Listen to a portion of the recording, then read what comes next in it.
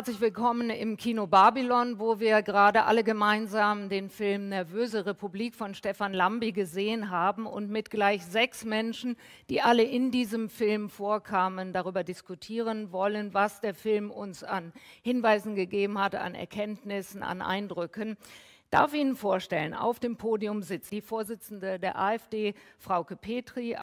Frau Petri, Petri, hilft oder schadet es Ihnen, von der Bildzeitung erklärtermaßen bekämpft zu werden? Wir haben nie gesagt, dass wir erklärtermaßen Frau Petri bekämpfen. Ich habe gesagt, wir bekämpfen antidemokratische Tendenzen, so wie die, die ich eben vorgelesen habe. Mhm. Ich glaube, Herr Diekmann sagt es trotzdem ja. relativ klar. Gut, ich versuche das mal und versuche es so kurz wie es geht. Das kommt darauf an. Also die Bildzeitung. Worauf? Na, das kommt auf das Thema an. Also es ist interessant festzustellen, dass gegenüber Sachthemen der Bildzeitung, ich nehme Sie jetzt, Bildzeitung und auch dem Spiegel, fast keine Glaubwürdigkeit mehr zugetraut wird, besonders von der eigenen Klientel.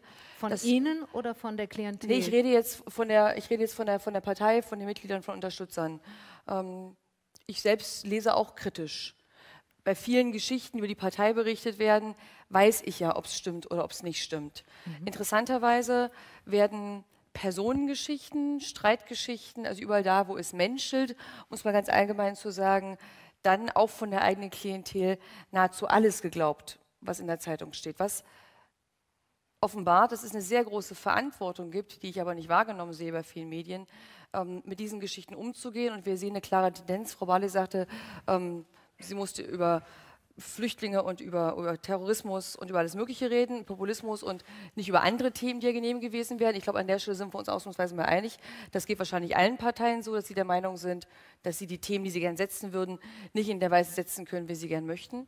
Ähm, aber natürlich sehen wir vor allen Dingen, dass bei Bild und Spiegel, und Sie haben das sehr schön, äh, sehr schön bestätigt, in der Tat aus unserer Wahrnehmung oftmals ein politischer Kampf geführt wird. Und es gibt genug Journalisten, die zumindest ehrlich genug sind, auch in Gesprächen mit, ja, in vertraulichen Gesprächen ähm, zuzugeben, dass sie sich als politische Aktivisten verstehen.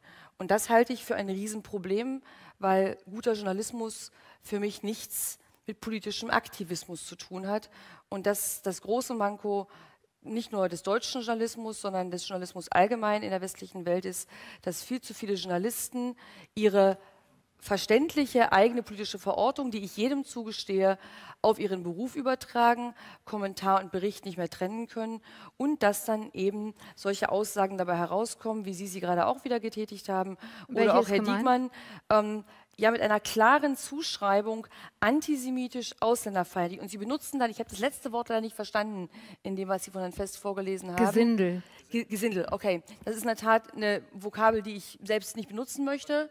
Aber warten Sie bitte mal, warten Sie bitte mal. Sie haben ein, eine sehr interessante Beschreibung gemacht. Sie haben verzeihen Sie, ertappt durch Herrn Lambis Kollegen bei Aussprüchen Ihrer Redaktion mit, dem, mit, dem, mit, dem, äh, mit der Organ Organisation der Rüge verständlicherweise jetzt argumentiert, das entspricht nicht dem politischen Alltag, das tun sie auch nicht, sie regieren da nicht hinein. Ich nehme das wahr und Herr Reichert, ich glaube es Ihnen sogar, dass das nicht grundsätzlicher Ansatz ist. Aber jetzt seien Sie bitte ehrlich, Sie sagen, das ist nicht repräsentativ für den Spiegel. Aber Sie nehmen sich eine oder für andere Spiegel Meinung oder für die Bildzeitung. Für die Bildzeitung. Mhm. Verzeihen Sie, Kein das macht meistens keinen Unterschied. Ähm, Doch. Sie, da müssen wir ja nicht einig sein, aber egal. Also Sie müssen mir die Twitter-Debatten von Herrn Brinkbäumer und mir anschauen, da sehen Sie, wie massiv warten Sie ganz kurz, warten Sie ganz kurz, dass ich gerade beschreiben will. Sie nehmen für sich in Anspruch, dass das ein Einzelfänomen war. Nein, aber, ich habe gesagt, nein, das habe ich nicht in Anspruch genommen. Nee, ja, doch, Sie haben nein, gesagt, das macht gesagt, Journalismus Das ist nicht. die Sprache. Ich habe gesagt, ja, es gibt eine Sprache dieses Betriebes und das sind keine Einzelfälle, die nach außen, ähm, das haben wir im Publikum wahrgenommen, nicht günstig. Ich habe nicht gesagt Einzelfall. Ich habe gesagt, es gibt eine Sprache, die nach außen möglicherweise erklärungsbedürftig ist. Also und ich bin auch durchaus bereit, selbst diese Sprache zu hinterfragen, auch wenn sie natürlich Teil unserer Abläufe ist. Aber ich, das Wort Einzelfall habe ich nicht benutzt, diese Relativierung, das haben Sie jetzt erfunden. Das habe ich einfach nicht gesagt.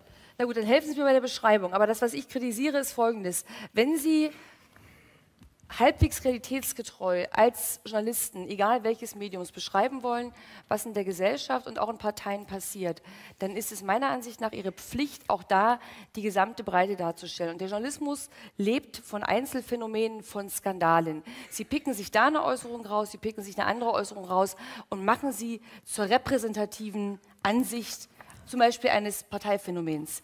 Und sie machen sich oftmals gar nicht mehr die Mühe, sie ignorieren sogar, dass Mehrheiten dagegen Aber dann, stehen. dann lassen Sie es und uns das konkret machen, dann mache ich mir jetzt die Mühe und ich möchte jetzt nicht die Aussage von Nico Fest, der Menschen Gesindel, nennt, zur Ansicht der AfD machen. aber das Finden tun Sie, Sie Nein, genau, deswegen frage ich Sie jetzt. Sie antisemitisch, haben ja- ausländerfeindlich, Aber antidemokratisch. Sie, Sie Das können Sie Sie- Zitate Sie von Herrn die- Sie haben doch jetzt die Diekmann, Sie Möglichkeit. damit Ist Ja, das ist das aber die sie Haltung? sind kein, diese, Ist- aber, aber Entschuldigung, Ver- ist das die Verzeihung, Haltung der AfD? Verzeihung, darf ich, ich ganz kurz, ich Gesindel? ich Wir- versuch's. wir- wir riefen Nein, nach ist es Menschen nicht. und bekamen Nein, Gesindel. ist es nicht. Okay.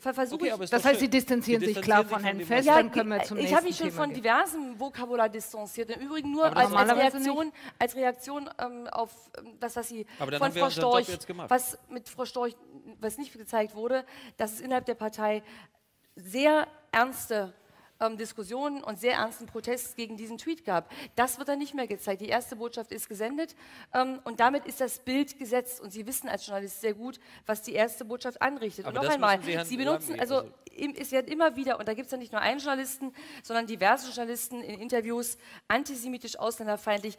Diese Vokabeln spulen Sie inzwischen automatisch herunter. Sie hinterfragen sich selbst gar nicht mehr dabei. Ich und habe das macht Journalismus ich habe Sie gerade sehr klar belegt. Frau Der Petri? Nein, haben Sie nicht. Der Journalismus könnte natürlich sauberer arbeiten, wenn Sie nicht den Nahkampf mit dem Journalismus suchten und zum Beispiel etliche Kollegen jeweils immer von ihren Parteitagen ausschließen würden. Wie jetzt zuletzt am Wochenende schon wieder geschehen, dass sie ähm, die Kollegen ausgesperrt haben beim Parteitag in Niedersachsen oder eine Kollegin, Melanie Amann, die auch hier ist, beim äh, Parteitag in Sachsen. Was versprechen Sie sich davon, wenn Sie doch uns eben den Eindruck gemacht haben, Sie seien an einem guten Journalismus interessiert? Na, vielleicht gehen wir mal zurück, auch das ähm, wissen Sie vielleicht, Frau Will, in die Anfänge der AfD. Ich erzähle die Geschichte gern wieder, auch wenn ähm, entsprechender MDR-Redakteur sich dagegen verwahrt. Meine ersten Pressekontakte in der beginnenden Parteiarbeit, das war im März oder April 2013, das genaue Datum kann ich nicht mehr sagen, da entstand eine MDR-Dokumentation über die ersten Stammtische und Parteiveranstaltungen in Leipzig. Ich wurde persönlich begleitet, weil ich bei der Organisation beteiligt war. Und dann wurde diese Reportage nicht gesendet. Zitat, und der Redakteur, der ähm, mir das damals berichtet hat, den gibt es immer noch, der sagte, weil sein Chef ihm gesagt hatte, was da gezeigt werden sollte, war, Zitat, nicht braun genug. Da gab es die AfD drei Wochen. Das war eine ganz normale Partei. Schon da war klar, wo man sie, und das war öffentlich-rechtlicher Rundfunk, wo man sie hinstellen wollte. Und das gab es nicht nur einmal, das gab es vielfach. Und wenn auf Ihre Frage, warum wir immer mal wieder Journalisten ausschließen, bei Parteitagen bin ich selbst generell dagegen, es sei denn, es gibt Einzelfragen, wo man tatsächlich auch mal intern tagen will. Ich halte eine interne Diskussion nicht generell für ähm, völlig verwerflich, wenn der Großteil offen ist und öffentlich ist. Ähm, aber wenn es Protagonisten gibt, und ähm, Sie haben Frau Ammann jetzt genannt, ähm, die sich auch in das Privatleben von Politikern eingemischt haben, und das ist in dem Fall mehrfach ähm, zu belegen, dann kann man die Entscheidung treffen und die haben wir in Einzelfällen getroffen. Aber auch das ist nicht repräsentativ für die Vielzahl der Veranstaltungen der Partei. Und wenn man noch einmal das Phänomen aus der Gesamtbreite ähm, beurteilen will, dann, ich habe jetzt keine Aufrechnung geführt, wage ich die Behauptung, dass weit über 95 Prozent, wenn nicht mehr, der AfD-Veranstaltungen komplett öffentlich sind. Und das wird auch so bleiben. Dann wäre das ja eine schöne Botschaft äh, des heutigen Abends, die wir mitnehmen könnten. Sie als Vorsitzende der AfD finden es falsch, dass man äh, Journalisten von Parteitagen ausschließt. Grundsätzlich generell. in Einzelfällen. Also die gehen. Beispiele, die es gab. Niedersachsen, äh, vergangenes Wochenende hatte ich gesagt, außerdem das Treffen der Rechtspopulisten in Koblenz. Da waren äh, 300, über 300 Journalisten, im. Will, bitte. Ja, Also aber ARD und. ZDF haben sie beispielsweise Bei der. Pressekonferenz stimmt auch das nicht, Frau Will, da waren Sie anwesend. Auch das bitte, bleiben Sie, bei, bleiben Sie bei der Wahrheit. Sie waren von Teilen der Veranstaltung ausgeschlossen oder nicht zugelassen. Bei der Pressekonferenz waren selbstverständlich auch die Öffentlich-Rechtlichen. Jetzt hätte ich mich in Ast gefreut, wenn von heute Abend ausgegangen wäre, dass Sie gesagt hätten, war ein Fehler, jetzt machen wir es besser, wir lassen die äh, Kollegen zu. Frau Will, warum soll ich Ihnen versprechen, dass wir generell jeden zulassen?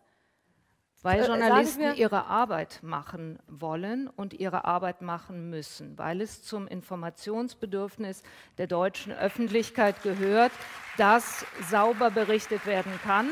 Das haben Sie eben mehrfach, darauf habe ich übrigens rekurriert, eingefordert. Das wünschen Sie sich von gutem Journalisten. Sie wollen nicht, dass jemand beauftragt wird, Dinge falsch darzustellen, etwa Sie braun darzustellen. Das war Ihr Beispiel. Wenn Sie das nicht wollen, dann müssen Sie zulassen, dass Menschen gucken können, Aber Frau was Will, darf ich, darf ich bitte eine, an der Stelle eine Rückfrage stellen? Wenn wir es mehrfach erlebt haben, dass tendenziös und eben nicht neutral berichtet wurde, wenn wir immer wieder Kollegen erleben, die uns auch offen ins Gesicht sagen, wie zum Beispiel vom ZDF, ähm, das waren Journalisten, ähm, Kollegen aus ähm, Nordrhein-Westfalen, Zitat, Frau Petri, wie kommen Sie auf das schmale Brett, dass wir mit Ihnen zusammenarbeiten wollen? Wenn sich so, so etwas häuft, über vier Jahre, dann frage ich Sie als Realist, der in beiden Beinen im Leben steht und bei gewissen Kollegen weiß, dass sie einen politischen Kampf führen, um bei Vokabeln zu bleiben, die im Film gefallen sind. Wie realistisch ist es dann, dass solche Kollegen, und ich rede von Einzelkollegen, ich rede nie von der Breite des Journalismus, das wissen Sie auch, dass die sich kurzfristig ändern? Entschuldigung, aber was offenbart das denn für ein Bild? Ich will doch gar nicht mit einem Journalisten zusammenarbeiten. Ich will, dass der die Möglichkeit hat, zu berichten. Ganz ehrlich, Sie stilisieren doch da was.